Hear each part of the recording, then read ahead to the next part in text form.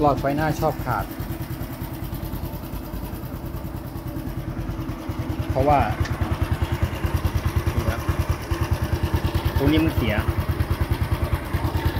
ตัวนี้มันเสียเราเปลี่ยนมาใส่ตัวนี้ แล้วก็ลองดูค่าวัดความไฟนะครับ วัดค่าดูว่ามันไวที่เท่าไหร่